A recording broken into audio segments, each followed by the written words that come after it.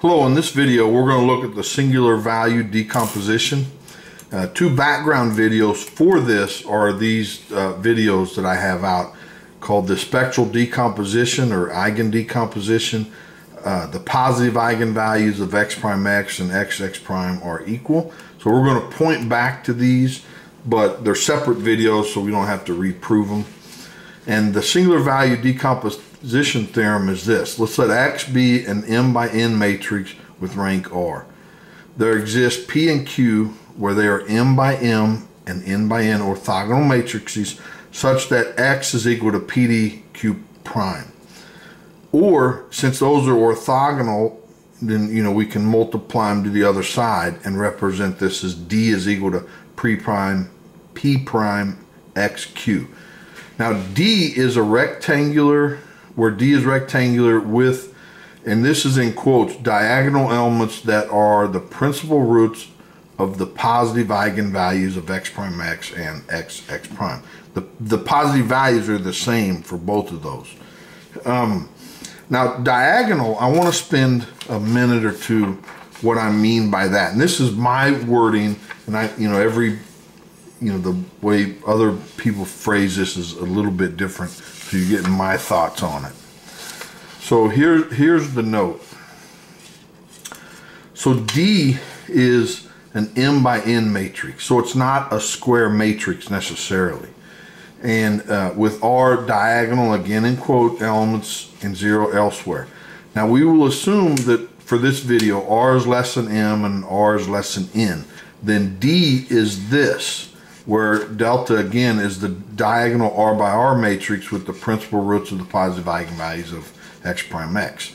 So this matrix is square and it should be pointed out that you know this is the no, m rows and c columns. So the number of columns with zero here are different than the number of rows with zero here.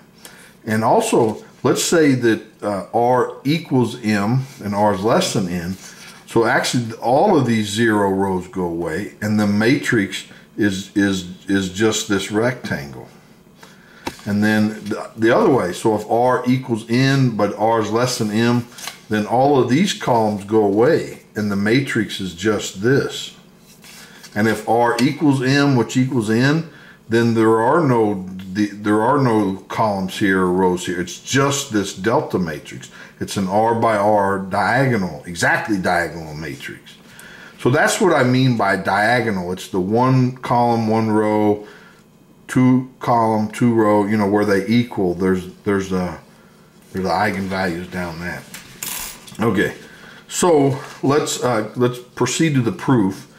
And we're going to note that x prime x is symmetric and by the uh, spectral decomposition theorem, there exists, exists an n by n orthogonal matrix Q such that we can pre and post multiply by Q to get this uh, diagonal matrix.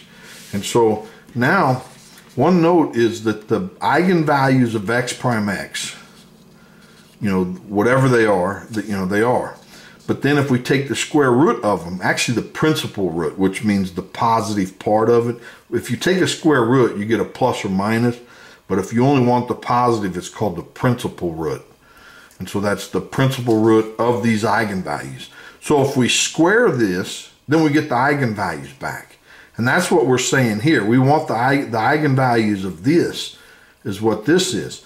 And since um, this is not full rank, there's going to be zero um, eigenvalues with some multiplicity. So this is an n by n matrix. So the number of columns and the number of rows are the same here. Um, and this is by the, the, uh, the spectral decomposition theorem. But let's break Q into Q1 and Q2 where Q1 is n by R. And then this product here can be thought of like this. So then when you multiply this out, you get this. So it's Q1 prime, X prime X, Q1. And then, you know, it's Q1 and Q2 here, 2 and 2 and 2 and 1. You get this uh, product. Now, this matrix equals this one because the way we broke up Q1 for the size of it. So this piece here is equal to the these eigenvalues. And so that's what this says. Now notice too that this equals zero, and of course this equals zero. But if we look at this piece here, which is this, it equals zero. So this is x q2 prime times x q2. That's zero, that's this piece, which implies that just x q2 is zero. So we gathered this from this, okay? So now let's proceed. So what we have so far is we, you know, of course, we're given x, and then we can find this x prime x. Now, given this, we can find q. Now we have to find p, and that's what we do here. So p is going to be this uh, matrix. It is, um, so q is n by n. P is M by M.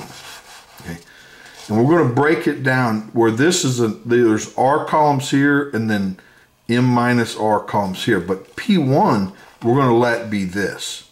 So it's an M by R matrix. Now we want this to be orthogonal. So that says if, if we take any vectors in P1 dotted with itself, it better be either zero or one. You know, if it's dotted with itself, it's one. If it's dotted with something else, it's zero. So let's look at that to make sure that this at least is the start of an orthogonal matrix. So x1 prime x1, so we plug in the definition of p1. I, mean, I said x, p1 prime p1. So then when we take the transpose, we have to, you know, reverse this order and put a tick in front of them. But this is a diagonal matrix, so it's, it's symmetric.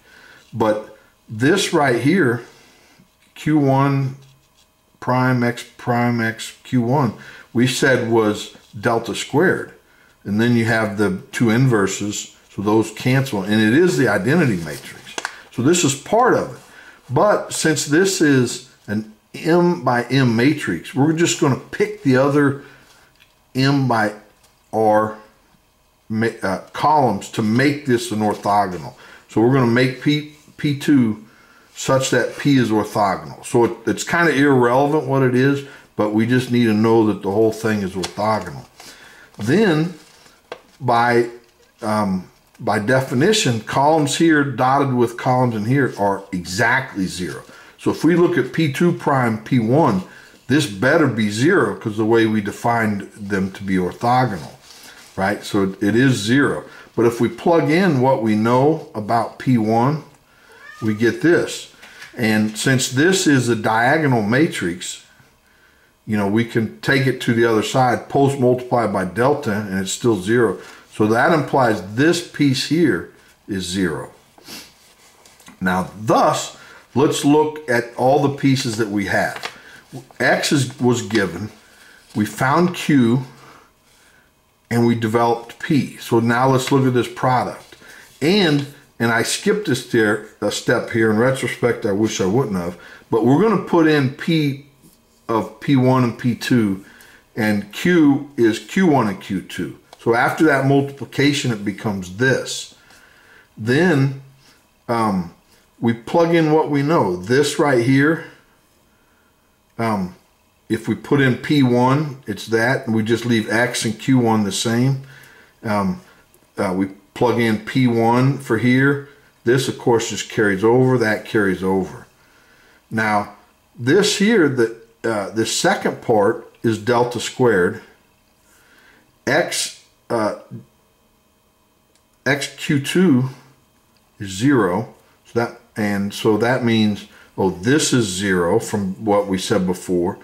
And so XQ2 is zero. So that becomes zero. So all these are zero. And delta minus 1 delta squared is actually just delta. And actually, that's what we set out to prove. So that's the proof of the singular value decomposition theorem. Well, that's all I have for today. Hope you enjoyed that. I sure did. Uh, please like the video and subscribe so you don't miss the next one. Thanks. Bye.